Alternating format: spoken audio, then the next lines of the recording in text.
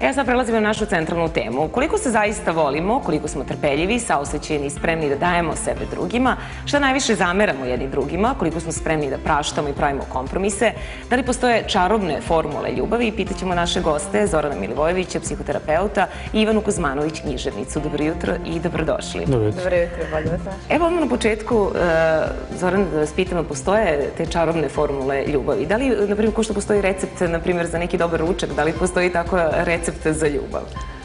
Pa jeste, ali uopšte nije čaroban. Uh, ja se upravo uh, trudim da demistifikujem ljubav. Znači, pozicija psihoterapeuta je takva da je on uh, na kraju jednog procesa gde su na početku pesnici, poezija, muzika, književnost, romani i tako dalje, a na kraju tog procesa su terapeuti koji se bave raznim ljubavnim brodolomima, depresijama, znači vrlo negativnim stvarima. Tako da ja sam upoznao jako dobro ljubav sa te neke negativne strane i sa, e, sa strane tih posljedica pogrešnih predstava ljubavi. I e, moja knjiga Formula ljubavi je u stvari knjiga o tome šta ljubav nije. Znači kako ljudi preteruju, kako sebi komplikuju život i tako dalje. A jedna od glavnih komplikacija je upravo to što sam ja osjetio kad ste rekli reč čarobna. Znači, mi nekako kao civilizacija patimo od uverenja da će nam ljubav doneti sreću. I onda krećemo tako u život i onda se naravno kasnije... A zar nije to tako? Zar nam ljubav ne donosi kada, kada smo zaljubljeni, kad volimo? Zar nismo tada nekako i srećeni? Ljudi su srećni kada ostvare neku važnu želju.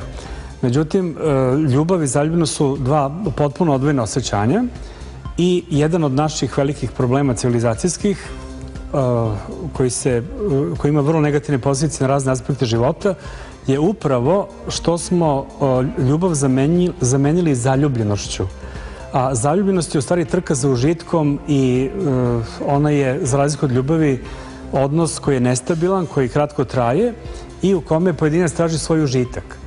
Tako da ljubav i sreća su dve odvojene stvari. Možemo biti srećni zbog ljubavi, ali u principu ljubav je nešto normalno. Znači kao što je normalno da smo zdravi, tako je normalno i da mi nekog volimo, da neko voli nas, da smo emocionalno povezani, a mi smo kroz uh, raznorazne kulturne uh, i romantične i fil filmske stvari od toga napravili nešto što je na kraju nemoguće ostvariti i zbog toga jako puno ljudi razočarano. Ivana, vi mislite da je ljubav jednostavna i koje su to pogrešne predrasude koje mi imamo, pogotovo žene kada su u pitanju o ljubavi? Pa ja mislim da ništa što je veoma važno u životu ne može biti jednostavno i lično sam protiv uverenja da se kvalitetne i dobre stvari mogu postići brzo i lako. Brzo i lako do sreće, brzo i lako do sjajnog izgleda, brzo i lako do ljubavi. E, međutim, samo bih rekla nešto da se nadovežem na ovo što je gospodin Milivojević rekao. E, ja nemam čarobnu formulu i potpuno sam saglasna sa svim da čarobne e, formule i ta romantična ubeđenja svakako nisu ono što predstavlja ljubav, ali u svojoj knjizi Nove od kad sam se zavolela volim dala sam jedno moguće rešenje za polaznu tačku kada su formule ljubavi u pitanju, a ta prvobitna formula, odnosno prvi korak na stazi ljubavi, po mom mišljenju je ljubav prema sebi. Odnosno, upravo ovo kako naslov glasi, od kada sam se zavolela, a to je osvešćivanje ljubavi prema sebi a, i pružanje sebi te bezuslovne pažnje i ljubavi o, za kojom često znači, tragamo. da volimo sebe da bi mogli da volimo i nekog drugog. To je, to je nešto što je još u starom zavetu zapisano i to je ono što svi znamo, ljubi samog sebe kao bližnjeg svoga, a nažalost ne samo da smo se oglušili i da nismo razumeli šta znači bližnjeg svoga, međutim problem je u tome što nismo nikada sasvim jasno definisali šta to znači samog sebe, upravo zbog ovih predubeđenja, predrasuda i različitih, različitih romantičarskih pristupa ljubavi, tako da sam, ja sam se u svom radu prilično ovaj, oslanjala i baš sam malo čas gospodinu Milivojeviću rekla da sam zahvalna za sve inspiracije i provokacije koje mi je dao, tako da sam mnoge stvari ovako uzela kao osnov, polazičnu tačku i da ovaj, razmišljam možda levlje, dublje, dalje, više, šire ili već kako, ili da naprotiv potpuno osetim težište u tome, pogotovo kada su zablude u pitanju, tako da sam u knjizi i ja u prvom poglavlju govorila o zabludama. A koje su to zablude? Ajde sada da... da, da... Pa, recimo, ja bih nekoliko mogla da pomenem. Jedna od zabluda je ne mogu da živim bez tebe. To je zabluda da su ljubav i zavisnost iste stvari. Zatim ljubav i požrtvovanost, požrtvovanost, odnosno žrtva kao izraz ljubavi, briga kao izraz ljubavi i naravno ova ključna a to je zaljubljenost kao, kao izraz ljubavi, odnosno zaljubljenost kao jednako ljubav. Ali ta rečenica ne mogu da živim bez tebe, e, ne znam da li im se dešavalo, ali ima, ima žena, na primjer muškaraca koji pate, mislim, dešavaju se i, i ubistava i samoubistava zbog, zbog ljubavi. Ubijaju ne zbog ljubavi, zbog manjka ljubavi, oprostite zbog što sam da. Ljubavi. Jeste, upravo ste vi da je reč o ljubavi, ali ne radi se od, ne zbog ljubavi, nego zbog nedostatka ljubavi. Jer da ima ljubavi ne bi moglo da bude tih vrlo, vrlo negativnih posledica. E se vi slažete sa tim? Ba, kad neko kaže ne mogu da živim bez tebe, onda on u stvari uslovljiva svoje postojanje, egzistenciju sa tim da neko bude tu, da ga voli. A onda kada taj neko hoće da ode, recimo, jer ima, ljudi imaju pravo da, ne znam, se predomise, prestanu da vole, zavole nekog drugog i tako dalje, onda ova osoba nije samo tužna što odlazi neko koga voli, nego ona gubi smisla života. I onda dolazi do tih tragičnih stvari što ste vi spomenuli, ili ubija sebe, šta će mi život bez tebe, ili ako nisi moja, nećeš biti ničija, a i šta će mi život ako ja ubijem tebe i tako dalje. Tako da je to jedna od destruktivnih logika koja postoji i kod nas je uh, relativno veliki broj takvih ubistava, pokušaja ubistava, mislim da bar u medijima registruju neke oko 50, 50 godišnje. Neke su i visoko onako zapažene u javnosti kao što je bilo ubistvo Ksenije Pajčin i, i slične stvari. Da. A Samo da kažem, a to su ubistva koja se vide, to su ona fizička ubistva. Postoji mnogo, mnogo veći broj onih uh, samoubistava koje se ne vide, a to su ljudi koji ne žive radosne, srećne, ispunjene i ostvarene živote. Znate, toga je, to je mnogo već, mislim, to, toga ima mnogo više i o tome se mnogo manje govori. Pa ajde da pričamo onda o tome, kako, kako pomoći tim ljudima? Pa, ja mogu da odgovorim. Da, da. Ja sam ovaj, u poslednjem delu knjige napisala upravo nešto što, poglavlje koje se zove Pomagači na stazi ljubavi i ono što svakako mislim da može i tekako da pomogne, pre svega u osvešćivanju, pošto sam ljubav podelila na dve, dva pristupa, neosvešćena ljubav, i osvešćena ljubav. Razlika među njima jeste velika, jer kaže se da svi volimo u odnosu na to kako znamo, umemo i možemo da volimo. Ali to ne treba da postane samom sebi alibi, već treba da se trudimo da uvek možemo više, znamo više i umevamo više. E sada, na stazi ljubavi definitivno nam mogu pomoći znanje, zahvalnost, oprost, dopuštanje, prihvatanje, vera. A znate što mi interesuje? Sad, mediji su prepuni saveta kako treba da se ponašamo da bi osvojili neku osobu. Ili žene vole to, ili muškarci vole to. Nemojte im nikada reći to, bit će vaši. Da li ljudi prosto treba da veruju takvim savetima i da li to može tako da se pojednostavi? Pa, ljudi su različiti. Znate, jedan savet je za jednu osobu jako dobar. Recimo, ovo malo pre što rekla Ivana, ljubav prema sebi. Neki ljudi pretrano vole sebe, a za druge su neosetljivi. To zovemo narcisoidnost. I onda njima reći treba zavoliti sebe, onda će oni da, da, tako, tako i tako dalje. Znači, za njih je u stvari poruka da treba da nauče da vole drugi. A imamo i one suprotnu, da kažem, patologiju, to su ljudi kojima roditelji nisu pokazivali ljubav, koji su stalno morali u životu nešto dokažu da bi bili voljeni. I onda upravo njih učimo da zavole sebe. Tako da, kada gledamo tako individualno, ljudi su jako različiti i onda poruka koja je dobra za jednoga je loša za drugoga i obrnuto.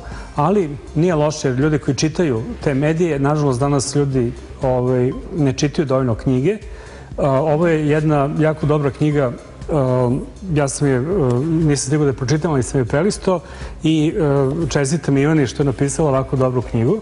Nadam se da će ljudi kupovati, malo se osvestiti kada je to u pitanju. Ali nažalost mnogo se više čitaju ženski časopisi nego ovako dobre knjige. A, ono što me interesuje, koliko mi danas komuniciramo?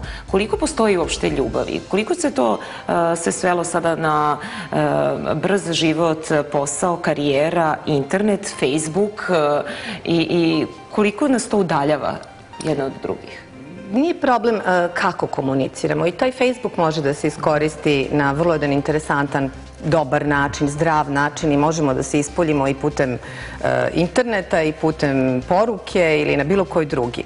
Um, problem je veći u tome koliko sebi dozvoljavamo i koliko nam je dozvoljeno, koliko, smo, koliko se uopšte bavimo time, koliko smemo da ispoljavamo ono što zaista mislimo. I to je ono uh, što je mene povuklo na put da i tekako zdušno ovaj, razmišljam na, na način na koji uh, Zoran Milivojević to opisao u svojim knjigama, znači da se bavim psihoterapijom na jedan način klijenta u decenijama, a onda i nekoga koji je u edukativnim procesima.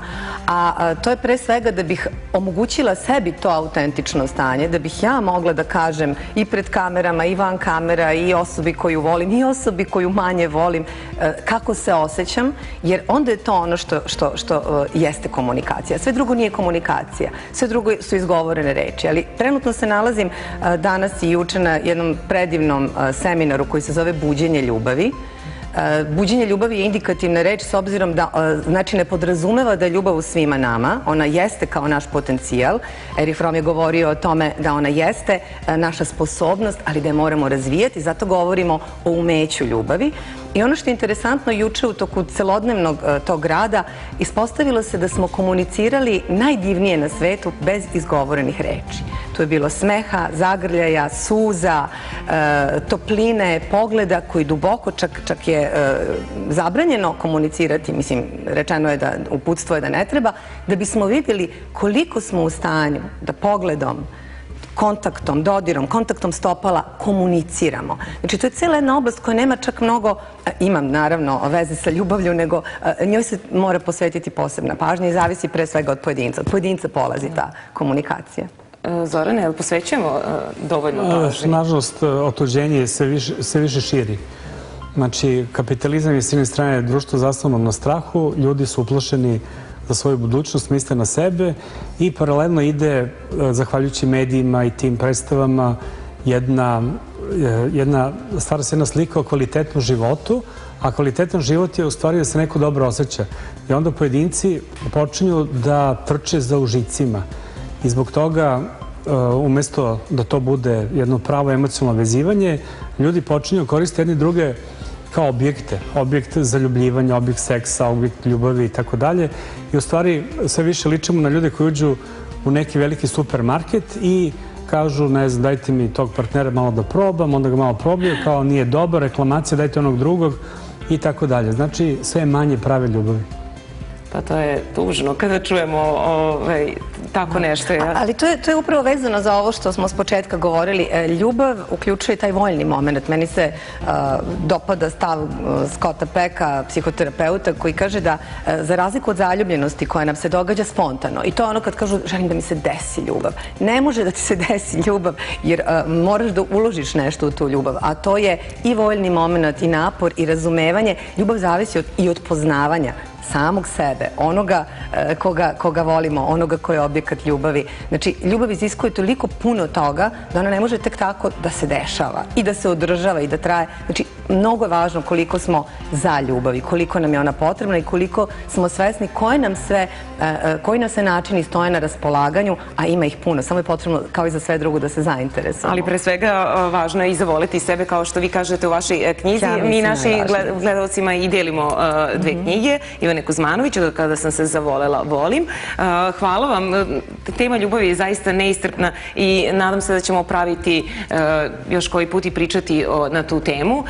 Moji gosti su bili Zoran Milivojević, psihoterapeut, Ivana Kuzmanović, književnica,